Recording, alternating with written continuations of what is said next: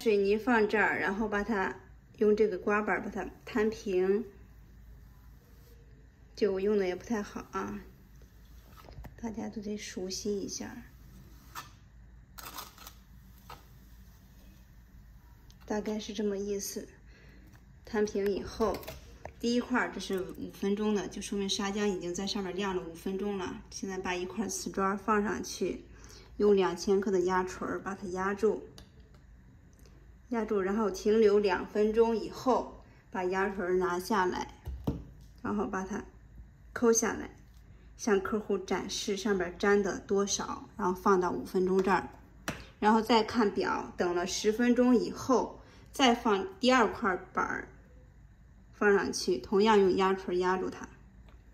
压上两分钟以后，掀开，再向客户展示十分钟以后瓷砖上可以粘的这个砂浆有多少，然后再看时间，到了十五分钟以后压第三块板儿，同样的方法。压上去两分钟以后，把这个锤拿下来，抠下来，向客户展示瓷砖上的粘的东西有多少。